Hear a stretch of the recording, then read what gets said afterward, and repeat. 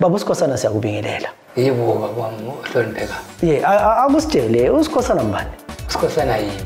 hmm. Hmm. ngizakulimaza ngebit singene isikhosana bheni ingoma leyingikhiphe ngomnyaka omutsha ingoma leyi ikhuluma ngesomiso kule vairus efikileyo elizweni abantu bayakhala ngomkhuhlane isimanga yokuthi ngithengilele ebuthongweni ngaphupha uba umadlela khuluma laye ngomkhuhlane sakhuleka wasemphendula wasesithi sikhosana bendi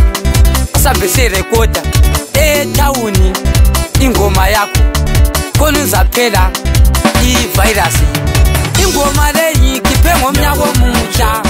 ingoma leyi khuluma ngesomiso ubaba lomama ekhabazwanani emacansini bayafulathelana abantwana abasafundi esikolo amahofisi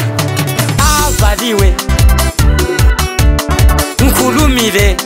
lowo nkulunkulu izaphela ivayirasi yime nditshelayo ofana nami uyaboniswa ndingameyisi ndingameyisi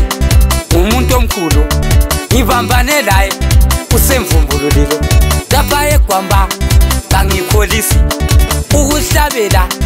ngiyakhuleka cela lindlalele abomthetho ngiyabathanda bayacela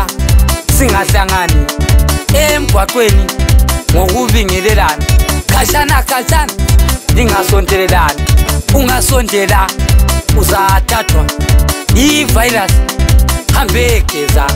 nxa ufika ekhaya gezi izandla isikhosana bhendi iyakulaya awusoze ubone umkhuhlane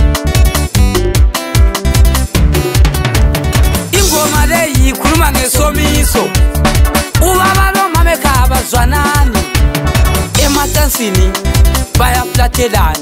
nxa ukhangele impilo yakhona ayisafanani leyakudala uba umadlela angakhuluma ulutho luyenzakala umntwana womuntu omdala uyaboniswa nasi sikhova ngatsho sasigoba sihamba ngemota sifele egwamba sozungigwanise ngisikhosana bendi ujali kanyandeni usithibilisingwefazana malukubusa ngithethuma mthembo lapha egwamba ngiyisiniya kwezomculo pamparampampamparampampam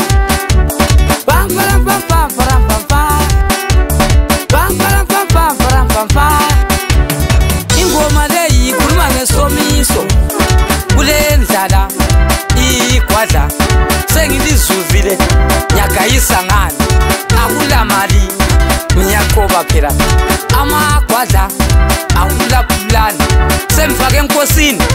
yezakulungisa bazabona ngihamba ngemota